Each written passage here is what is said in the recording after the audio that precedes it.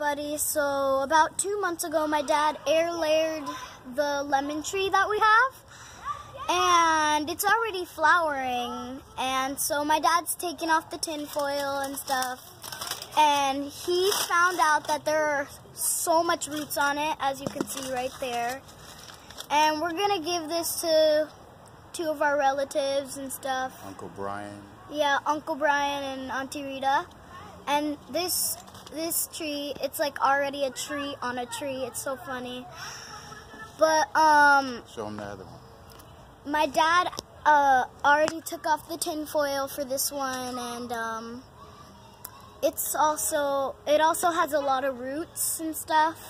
It's dated So- June 10, 2017. Yeah, it's dated June 10th, 2017 and um So less than two months.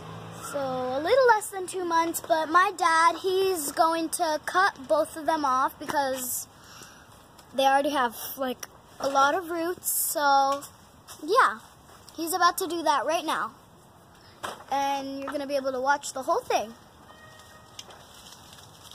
Okay, this tree is going to fall out the air. Very funny. Uh, uh It's a little hard to... Daddy, I can't see it because you're cutting it. Oh, by the way, air layering is practically like duplicating the tree. Oh my goodness, the branch just fell on the camera. That's okay. So look at how much roots there are. It's so funny. It's like... it's creepy. Where's the part that's already flowering? So it's already flowering about right here and a couple other spots. Hold up. Where did I see it at? okay. So he's Here it is, right here. so it's starting to flower about right here and um it's pretty cool. So he's about to cut the other one off pretty soon. But this is how it looks right now.